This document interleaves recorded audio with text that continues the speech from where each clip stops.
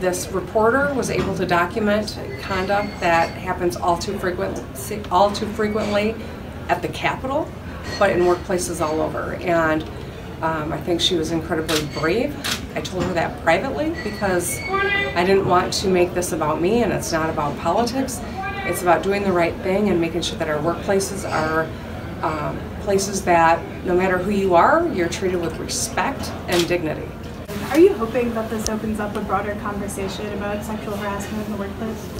Well, absolutely. And I'll tell you that um, earlier that same day, I had a conversation with the leaders and uh, raised the issue of how violent rhetoric is um, doing such a disservice and, and is so dangerous, and that every one of us has a platform. Every one of us has a responsibility to take it on and not just not to take part in it, but to call people out and to hold them accountable and hold people to a higher standard.